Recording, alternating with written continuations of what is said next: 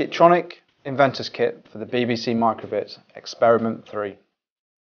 So here we have the built circuit. It consists of an LED, a resistor, quite a lot of jumper leads. We have a potentiometer, potentiometer here and a switch, push switch. If you built it correctly, when you press the switch, the LED will come on. If you press it again, it will go off. Bring it on. And then the potentiometer is used to adjust the brightness of the LED, like a dimmer switch. And again, we still turn it on and off.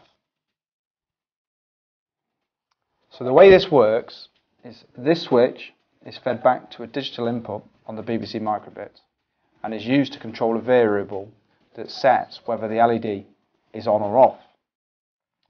When it is on, we then use, have a potentiometer which provides an analog voltage back into the microbit, which it can read by doing an analog read. And the value of this voltage determines how bright this LED is.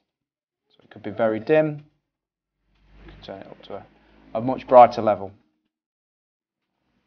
But as I said, there's obviously quite a lot of connections here, so it is important that you take care when building this circuit. So make sure that the jumper wires are connected in line with the components, the legs of resistors and LEDs where required are in line. And the area where you are most likely to find issues, I would find, is the potentiometer.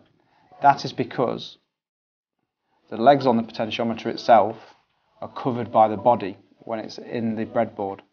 So you need to make, take care to ensure that these legs are lined up with the corresponding jumper wires. If they're not in line, you will find it won't work.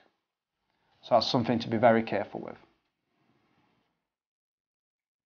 For more accessories and project ideas for the BBC Microbit, please visit kitronik.co.uk.